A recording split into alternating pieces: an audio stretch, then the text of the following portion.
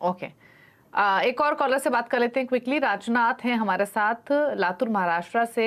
रंगनाथ है माफ़ कीजिए. रंगनाथ जी नमस्कार बताइए सवाल.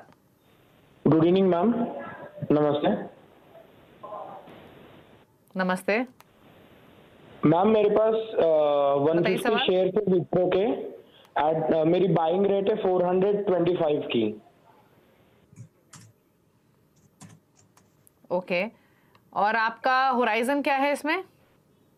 मैम, मैं यहाँ से वन ईयर तक मैं इसे होल्ड कर सकता हूँ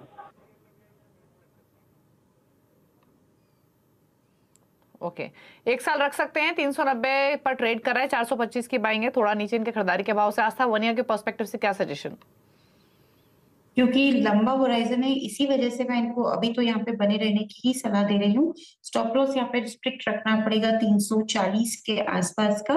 सो 330 340 के स्टॉप लॉस के साथ एक साल के नज़रिए के ध्यान में रखते हुए अभी तो बने रहे, लेकिन स्टॉक को काफ़ी इंपॉर्टेंट रेसिस्टेंस है। मेरे हिसाब से 420 के जोन में 420 से लेके 445 के जोन को ये पार करेगा, तभी जाके इसमें अच्छी तेज़ी और नई तेज़ी लौटेगी, जो ड्राइव करेगी 480 तक। लेकिन काफ़ी समय लगेगा इसलिए अभी तो बने रहने की सलाह है विप्रो में। ठीक है। चलिए तो ये सजेशन है आपके लिए विप्रो पर। होल्ड कीजिए 340 का एक स्टॉप लॉस लगा लीजिए 390 पर कर रहा है ट्रेड चलिए, रुक रहे हैं इसी के साथ एक ब्रेक के लिए। ब्रेक के उस पास सोशल मीडिया से लेकिन क्वेश्चंस को, जल्द वापस आते हैं। आस्था बनी हुई है हमारे साथ।